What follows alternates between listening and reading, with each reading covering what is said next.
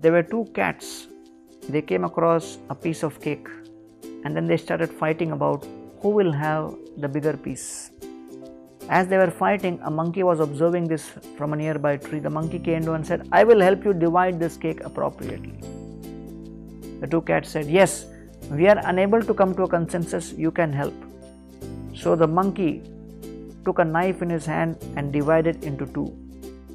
The monkey looked at the two pieces and said, Actually, this piece has turned out to be a little bigger than the other piece. Let me eat a piece of this so that it becomes equal. So he ate one piece. Then he looked at the other piece and said, Oh, sorry, I ate more from this side. This piece is bigger. Let me eat from this piece. He went on consuming each part of the cake, and ultimately the entire cake was consumed.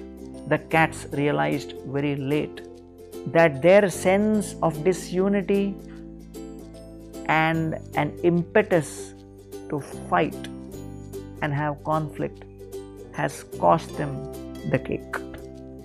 And therefore, it is described मिथः कलीर अभूत तेषाम न तर्षे तर्ष चेतसाम aham purvam aham purvam natvam natvam iti prabho in the eighth canto when the demons and the demigods are engaged in the samudra manthan churning of the milk ocean when finally the nectar comes up both the demons and the demigods attack lord dhanvantari and take the kalash or the pot of nectar and start fighting about who will have that pot of nectar.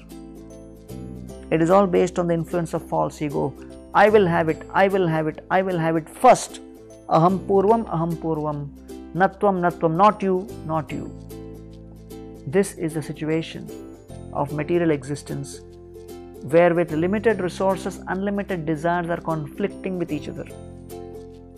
Let us try to transform our existence by leading a life based on the principle of keeping Krishna in the center, and when there are several concentric circles, all of those circles can coexist harmoniously.